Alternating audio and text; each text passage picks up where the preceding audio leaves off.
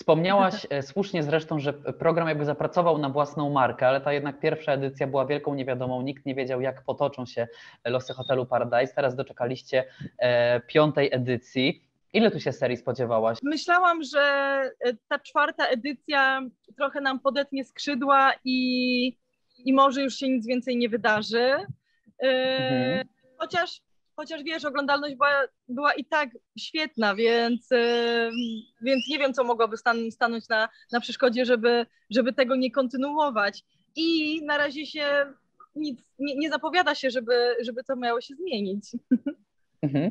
Y, nagrywacie zawsze dwie serie, więc przez tą, przed tą piątą y, zawsze są jakieś rozmowy o, o, nowej lokalizacji, są pewnie jakieś negocjacje, rośnie wartość rynkowa programu, a czy rośnie wartość Klaudii Eldurs? Wiesz, no dokładnie tak jak inflacja co rok, to, to ja też, też się temu poddaję. Ja też się temu poddaję. Takie życie. Takie życie. Tak.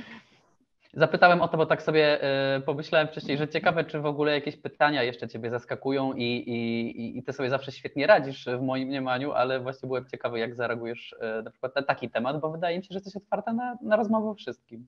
Ja jestem zawsze otwarta na rozmowę. Dla mnie nie ma tematu tabu.